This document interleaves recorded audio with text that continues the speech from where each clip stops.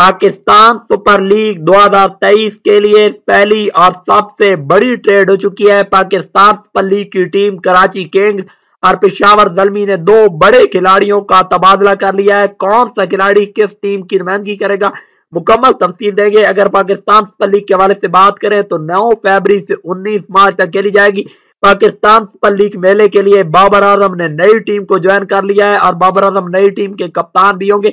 बाबर आज़म अब कराची किंग्स का हिस्सा नहीं रहे बाबर आज़म अब कराची किंग्स को छोड़कर पिशावर जलमी को ज्वाइन कर चुके हैं। पिशावर जलमी के वो कप्तान होंगे, जबकि शुएब मलिक जो कि पिशावर जलमी के अहम खिलाड़ी थे, अब वो पिशावर जलमी का हिस्सा नहीं रहे और अब वो कराची किंग्स की टीम को ज्वाइन कर चुके हैं। उम्मीद करता हूँ फ्रेंड्स, वीडियो पसंद आई होगी। Thanks for watching every one I love you प्यारा पाकिस्तान।